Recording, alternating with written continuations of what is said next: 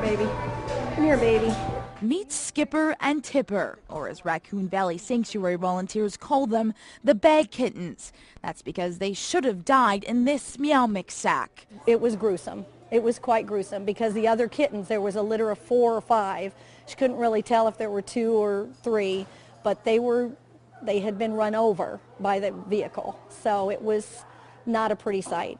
Tipper and Skipper were sealed into the bag, dumped on a road and crushed by oncoming traffic. It's a miracle they survived the experience. But that's not the end of the story. This is Reagan. He found the bag, dragged it all the way home to his owner, and whined until she opened it. The instincts of the dog was to nurture, not kill because the, the, blood, some dogs would have responded to the scent. Reagan, the dog's a hero. Reagan's owner could hear Tipper and Skipper's faint cries from inside the bag, but she was totally unprepared for what she found when she opened it. When she reached in, the horror of um, these kittens covered in blood and guts, you know, quickly revealed that there was more that didn't make it.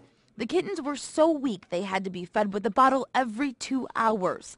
Linda Blakely fostered Skipper and Tipper, who were traumatized by the experience. She wasn't sure they would live through the first few days. Whether them being dumped out was an act of cruelty or desperation, we will never know. Um, but we want people to know there's better ways. Three months later, and Skipper and Tipper look like normal, healthy kittens.